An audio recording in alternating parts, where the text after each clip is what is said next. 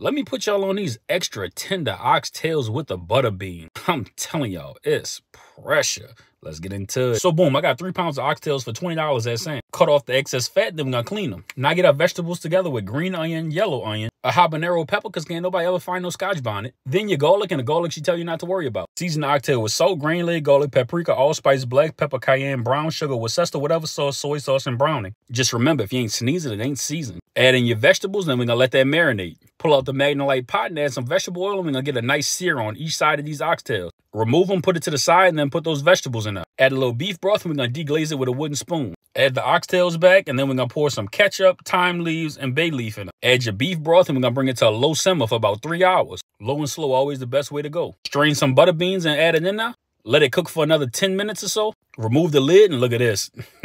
yes, Lord. Falling off the bone. Pair it with rice or whatever you like, and just like my name, you're all done.